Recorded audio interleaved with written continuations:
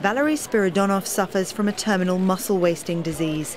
He wants to save his life and make medical history by becoming the first person to undergo a human head transplant. I love science, I love medicine. If it goes good, I think I will get rid of the limits uh, which I have today, and I will be more independent, and uh, this will much improve my life.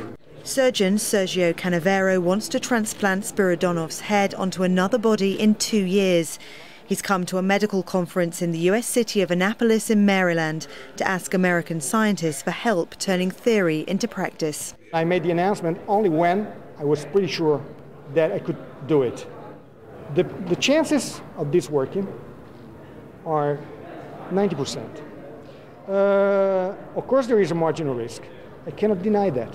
Both the patient's and the donor's body would be cooled to extend the time their cells can survive without oxygen.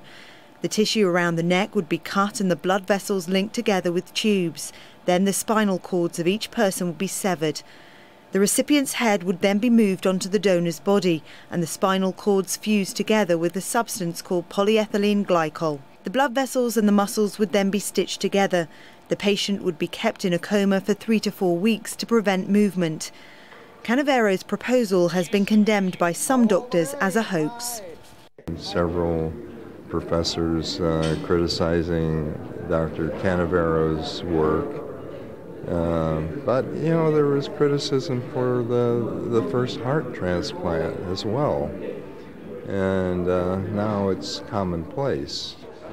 Canavero says he may struggle to get ethical approval to carry out the operation in the West. The implications are enormous, so are the challenges, but the same could be said of past operations that have pushed the boundaries of science. Victoria Gatenby, Al Jazeera.